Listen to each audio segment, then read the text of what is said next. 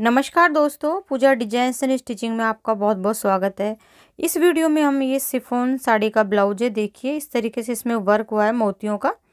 तो इसकी full cutting यहाँ पर देखेंगे थर्टी फाइव साइज़ का ये ब्लाउज है। तो इस तरीके का जो फैब्रिक होता है, या ब्लाउज होता है, उसमें हम किस तरीके से कटिंग करें, वो यहाँ पर हम देखेंगे। तो ये देखिए, इस तरीके से इसकी स्लीव है। कस्टमर ने लंबाई ज़्यादा लिखवाई है बट मैं यहाँ पर जितनी हमारी स्लीव होगी, उतनी हम कटिंग करेंगे और बैक पार्ट में भी उसी तरीके से कवर करेंगे, ताकि जो भी एम्ब्रॉयडरी का पार्ट है पूरा कवर हो जाए। तो ये देखिए लाइनिंग मैंने ले ली यहाँ पर। पहले आप यहाँ पर इसका जो भी मेज़रमेंट है वो देख लीजिए। लंबाई है चौदह इंच, सीना है पैंतीस, कमर तीस इंच है, बाजू की लंबाई हम यहाँ पर साढ़े पाँच इंच रखेंगे। गोलाई जो बाजू की है वो दस इंच है।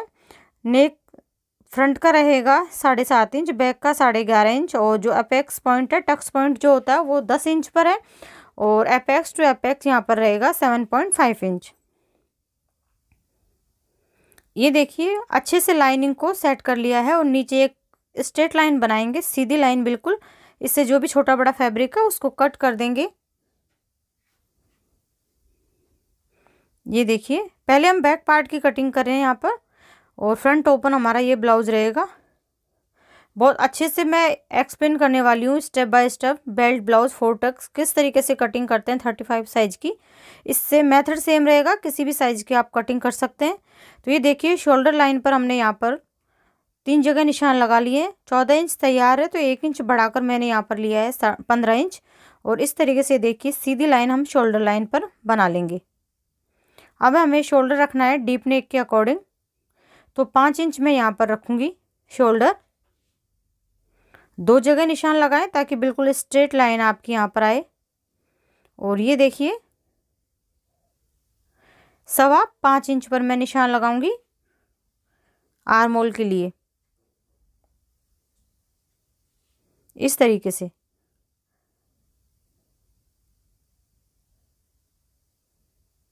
सवा पाँच इंच पर। अब हम इस लाइन को भी बिल्कुल सीधा कर देंगे।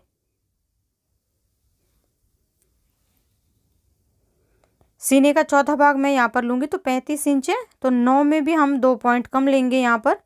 तो इस तरीके से मैंने निशान लगा लिया है। डीप नेक है, कोई लूजिंग हमें यहाँ पर नहीं रखनी है। इस बात का ध्यान रखें। बैक पार्ट है, और बैक पार्ट में जो डीप नेक में क्या चीज़ हमें शोल्डर पे आर्मोल पर चेंजेस करनी होती है, वो ध्यान से देखिए। हाफ़ हमने कर लिया है आर्मोल को यहाँ से, और सिर्फ़ एक इंच की हम यहाँ पर गहराई लगाएँगे, क्योंकि हमारा नेक बहुत डीप है, साढ़े ग्यारह इंच। तो ऑलरेडी ये बहुत फैलेगा जब बनेगा। तो इसलिए मैं यहाँ पर सिर्फ़ एक इंच की गहराई लगाऊँगी आरमोल पर बैक पार्ट में। ये देखिए, तीस से थर्टी एट साइज़ तक आप यहाँ पर एक इंच की गहराई लगाएँ।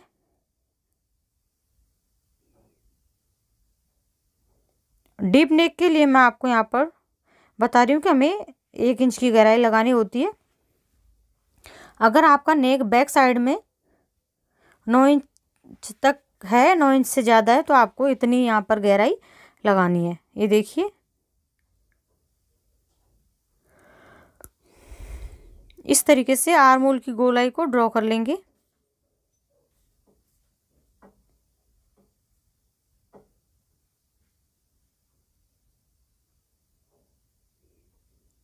अब हम कमर पर यहाँ पर निशान लगाएँगे तो बैक पार्ट में मैं यहाँ पर कोई टक्स नहीं बनाने वाली हूँ। बिल्कुल हम इसको स्ट्रेट बनाएँगे। कस्टमर की डिमांड पर कि बैक साइड में मेरी कोई टक्स नहीं चाहिए मुझे। इसलिए देखिए मैंने जितना कमर का चौथा भाग है, साढ़े सात इंच और दो इंच यहाँ पर एक्स्ट्रा लिया है।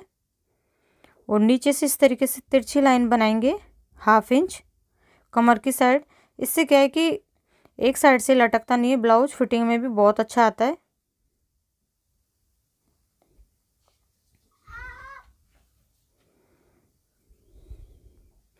और सवा दो इंच पर मैं यहाँ पर नेक की गहराई लगाऊँगी। ढाई इंच पर जब सिलेंगे तो ढाई इंच हमारी तैयार रहेगी। और ये देखिए, जो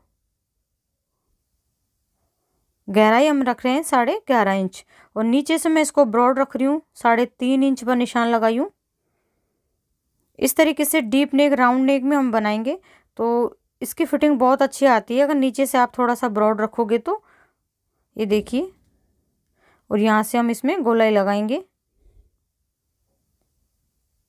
थोड़ा सा इसको बाहर निकालते हुए और राउंड लगाएँगे। आप चाहें तो जितना हमारा जो बॉक्स रेडी है, उसी में भी लाइन बनाकर इसको अच्छे से राउंड में बना लें। तो तब भी ये काफ़ी, इसकी चौड़ाई नीचे से काफ़ी हो जाती है। ये देखिए, मैंने इसको हल्का सा और यहाँ पर सेफ़ दिए।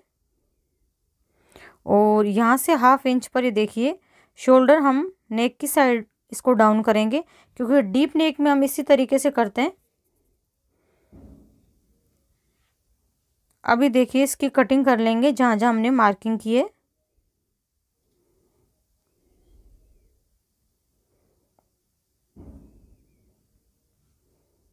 मार्किंग, जो लाइन पे हम मार्किंग करते हैं, उसके अंदर से आपको कभी कटिंग नहीं करनी चाहिए, किसी भी, कोई भी आप कपड़ा सिलें। तो कटिंग बिल्कुल उसके बाहर बाहर हमें करनी होती है, बिल्कुल उसकी बॉर्डर लाइन पर। और ये देखिए, जो हमने यहाँ पर शोल्डर डाउन किया है, उसको भी कट कर लेंगे। कुछ इस तरीके से तो बैक पार्ट की कटिंग हो गई है फ्रंट पार्ट कट करेंगे। तो फ्रंट पार्ट के लिए देखिए, मैंने फैब्रिक को अपनी तरफ़ खुला हुआ रखा है। और यहाँ पर हम हुकाई की पट्टी के लिए मार्जिन छोड़ेंगे। फ्रंट ओपन है हमारा ब्लाउज। इस तरीके से हाफ़ हाफ़ इंच आप सीधी लाइन बना दें और इसमें जो जो किनारे आती है हमारी, उसको मैंने पहले ही कट कर दिया है। ये देखिए, और यहाँ से एक बिल्कुल सीधी लाइन बनाएँगे। इसके ऊपर हमें शोल्डर लाइन लेनी है। ये देखिए, क्योंकि इसकी साइड में थोड़ा कपड़ा कम है तो हमारा पूरा जो सीने का चौथा भाग वहाँ तक कवर नहीं हो पाएगा। अभी देखिए मैंने इस तरीके से निशान बना दिए। तो शोल्डर लाइन हम यहाँ पर बना रहे हैं पाँच इंच जैसे हमने बैक साइड रखी थी सेम वही हमें यहाँ पर रखनी है। और यहाँ पर भी मैं पाँच इंच पर निशान लगाऊँगी। तो फ्रंट पार्ट में हमें क्या चेंज करना होता है, वो आगे आगे देखिए आप। ये देखिए मैंने सवा पाँच इंच पर निशान लगाया और इसको भी बिल्कुल सीधा करेंगे। बिल्कुल आपको ब्लाउज में एक एक पॉइंट का ध्यान रखना होता है। पॉइंटों में ही आपका ब्लाउज टाइट हो जाता है, ढीला हो जाता है। तो ब्लाउज में बहुत एक एक पॉइंट फिटिंग में बहुत ज़्यादा मायने रखता है, इसलिए कटिंग करते वक्त इन चीज़ों का बहुत ध्यान रखें। अभी देखिए, ये फ्रंट पार्ट है तो मैं हाफ़ इंच अंदर के साइड निशान लगाऊँगी। ऊपर हमारा पाँच इंच शोल्डर है, नीचे हमारा यहाँ पर, ये देखिए, साढ़े चार इंच रह गया। और यहाँ पर एक इंच की गोलाई लगाऊँगी, देखिए, फ्रंट पार्ट में।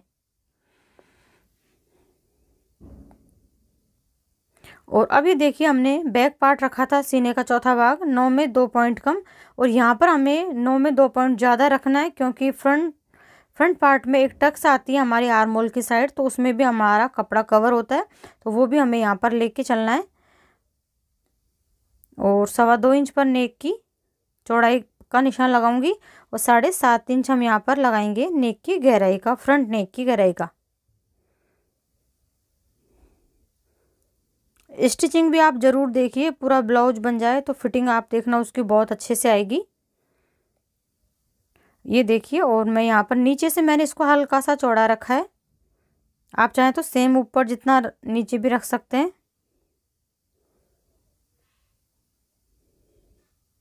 डीप नेक में अगर हम नीचे से भी थोड़ा सा इसको चौड़ाई रखते हैं तो अच्छी से फिटिंग में आता है। टक्स पॉइंट रखी हमने यहाँ पर साढ़े दस इंच पर। दस इंच है तो हाफ़ इंच शोल्डर में जाएगा और एक टक्स पॉइंट के नीचे हमने तीन इंच पर निशान लगाया है। वो हमारा बेल्ट जॉइंट वाली लाइन है। तो टक्स हमारी जो मेन टक्स रहेगी, वो यहाँ पर ढाई इंच की तैयार रह जाएगी, हाफ़ इंच बेल्ट में चला जाएगा।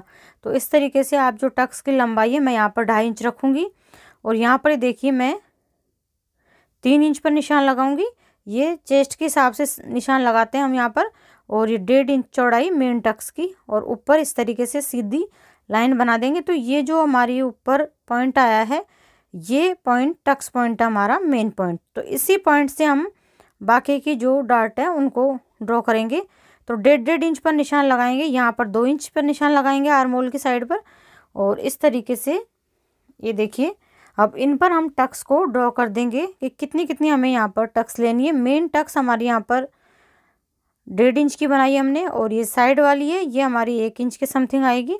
और ये देखिए हुक्काई की साइड वाली है तो ये बहुत, सबसे पतली हमारी यही टक्स आती है। ये देखिए थोड़ा थोड़ा सा कपड़ा हम यहाँ इस तरीके से, जैसे मैं आपको निशान लगा के दिखा रही हूँ तो इसी को, इसी पर हमें पकड़ के और सिलाई लगानी है। तो जब मैं सिलाई करूँगी, तब आपको दिखाऊँगी कि किस तरीके से हमें टक्स को अच्छे से पकड़ के और सिलाई लगानी होती है। इस तरीके से चारों टक्स हमने यहाँ पर बना दिए। यहाँ पर कमर का चौथा भाग साढ़े सात इंच, डेढ़ इंच मेन टक्स की जो चौड़ाई रखी है, उसको ले लेंगे, दो इंच एक्स्ट्रा सिलाई मार्जिन का। तो इस तरीके से कंप्लीट मार्किंग कर लिए। ये देखिए, इस तरीके से। और यहाँ पे जैसे हमने बैक पार्ट में रखा था सेम उसी तरीके से तिरछी लाइन ड्रॉ करेंगे हाफ़ इंच की। इससे फिटिंग बहुत अच्छी आती है, बिल्कुल ब्लाउज की और नीचे से साइड से लटकता भी नहीं है। और एक इंच पर हम जो बेल्ट की, ये देखिए सेफ़ यहाँ पर देंगे तो इसमें हमारा बेल्ट अटैच होगा। नीचे से हल्का सा राउंड डालना है हमें मेन डार्ट पर। ये देखिए इस तरीके से, जब इसको इस तरीके से जोड़ेंगे तो ये नीचे की साइड ऑलरेडी झुक जाएगा पार्ट, जहाँ हमने कम किया है। और ये देखिए, इस तरीके से इसकी मार्किंग कंप्लीट हो जाती है कटिंग करेंगे, देखिए। और बेल्ट में यहाँ पर ऊपर जो हमारा कपड़ा इसमें बच रहा है, देखिए, इसी से हम कट कर लेंगे तो ये हमारा काफ़ी है बेल्ट के लिए। अगर कम कपड़ा रहता है आपको ऊपर तो आप डायरेक्ट इसके साथ साथ नीचे भी बेल्ट निकाल सकते हैं। मैंने कई वीडियो में शेयर किया है कि नीचे से किस तरीके से बेल्ट निकालते हैं। अगर बेल्ट अलग जगह से निकालने में प्रॉब्लम आती है तो आप जस्ट इसके जहाँ से हमने बेल्ट की लाइन ड्रॉ की थी, उसके नीचे से हम बेल्ट भी साथ के साथ निकाल लेंगे।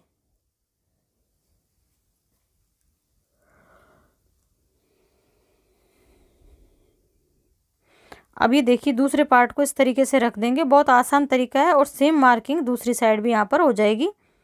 आपको कोई भी ट्रेस वगैरह अलग से करने की आवश्यकता नहीं है। सेम टू सेम यहाँ पर मार्किंग इस तरीके से आप चौक से थोड़ा सा गहरा कर लें और बहुत जल्दी फटाफट से ये मार्किंग यहाँ पर बन जाती है। तो ये देखिए, चारों टक्स सेम जो सी एक साइड थी, वैसी दूसरी साइड भी हमारी यहाँ पर बन गई। इस तरीके से रख लें। देखिए, ये जो मेन डाट है, अच्छे से हमारी मैच कर रही है। और अब हमें यहाँ पर बेल्ट की कटिंग करनी है। तो ये देखिए, ये मेरा यहाँ से कपड़ा बचा हुआ है तो डबल में है कपड़ा तो इस पर हम बेल्ट की कटिंग करेंगे। तो बेल्ट में यहाँ पर अभी चार इंच पर निशान लगा रही हूँ। नीचे से हम इसी कपड़े में इसको फोल्ड भी करेंगे। अलग से मैं पट्टी नहीं लगाऊँगी यहाँ पर, क्योंकि बहुत ही सॉफ्ट फैब्रिक है तो अंदर से कोई चुभने की तो इसमें कोई समस्या नहीं रहेगी, इसलिए मैं इसी को फोल्ड कर दूँगी। तो देखिए, बेल्ट का निशान इस तरीके से लगा लेंगे और बिल्कुल यहाँ से सीधा इस तरीके से लाइन ले जानी है हमें बेल्ट की। जैसे हमारी ब्लाउज की सेफ़ है, ये देखिए इस तरीके से हमें नहीं कट करना है, इस बात का ध्यान रखें। क्योंकि जितना हमने कट किया है, वो वापस यहाँ पर ऐड हो जाएगा। इसलिए आपको इस चीज़ का ध्यान रखना है कि बेल्ट को किस तरीके से कट करना है। तो देखिए, मैंने बिल्कुल सीधी लाइन पर कट किया है।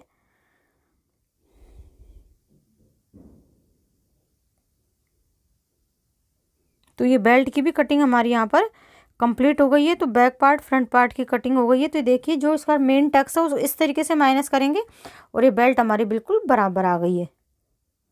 थोड़ी बहुत एक्स्ट्रा है कम नहीं है बट ये देखिए, अब हम स्लीव की कटिंग करेंगे तो स्लीव की कटिंग किस तरीके से करनी है? पहले मैन फैब्रिक की स्लीव को मेजर करेंगे, अगर आपका इस तरीके का ब्लाउज है तो। तो ये देखिए, यहाँ पर साढ़े छः इंच आ रहा है तो हमारी सिलाई में भी जाएगा तो साढ़े पाँच इंच की हम स्लीव यहाँ पर रेडी रखेंगे, साढ़े पाँच इंच की लंबाई भी ठीक रहती है। तो ये देखिए, नीचे से कट कर लेंगे, बराबर कर लेंगे फैब्रिक को फोर फोल्ड ये फैब्रिक है ये देखिए, दोनों आस्तीन हम साथ ही कट करेंगे तो साढ़े छः इंच पर मैं निशान लगाऊँगी। एक इंच एक्स्ट्रा रख रही हूँ, साढ़े पाँच इंच तैयार रह जाएगी। और इस तरीके से सीधी लाइन हम बना लेंगे।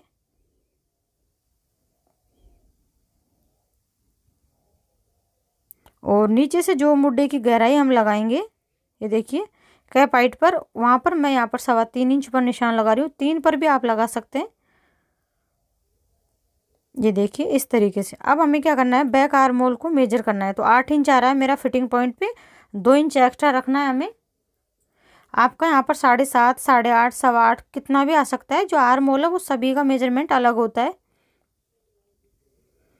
ये देखिए, और दो इंच में यहाँ पर एक्स्ट्रा रखूँगी। तो आर मोल जब काटें बाजू का तो बैक आर मोल को आप ज़रूर मेजर कर लें। या तो आप डायरेक्ट गोलाई लगा लें बट अगर आपको प्रॉब्लम आती है आस्तीन में गोलाई लगाने के तो देखिए पहले ऐसे, इस तरीके से स्ट्रेट लाइन बना लें फिटिंग पॉइंट से। अब इसको हाफ़ कर लें। बहुत आसान सा तरीका है। और अब ये देखिए, इसको इस तरीके से पहले गहराई लगा के नीचे से घुमा दे तो ये तो हमारे फ्रंट का हो जाएगा, ये देखिए इस तरीके से। और अब बैक के लिए क्या करना है? ऊपर से लाते हुए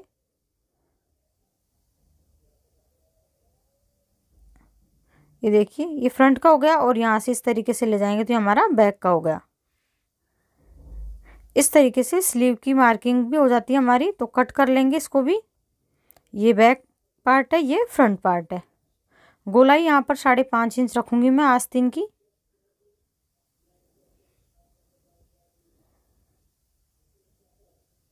ये देखिए, और दो इंच एक्स्ट्रा मार्जिन के लिए रखा है।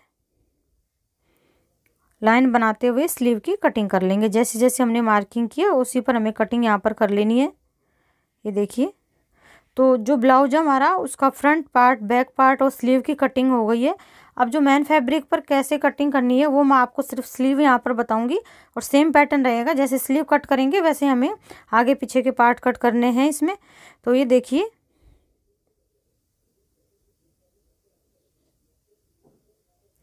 ये हमारा ब्लाउज का पार्ट है तो आज आस्तीन मैंने अच्छे से इसमें इस तरीके से रख लिए और इनको रख के पिन लगा के और कट कर लेंगे, देखिए।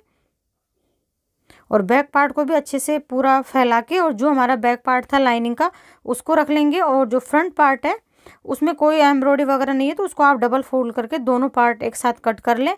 तो देखिए, वीडियो हमारी यहाँ पर कटिंग की कंप्लीट हो जाती है, जो नेक्स्ट वीडियो आएगी, उसकी इसकी फुल स्टिचिंग आप सीख सकते हैं कि किस तरीके से स्टिचिंग करिए। तो ये देखिए, वीडियो कंप्लीट होती है तो आपसे मिलते हैं नेक्स्ट वीडियो में। Thank you for watching.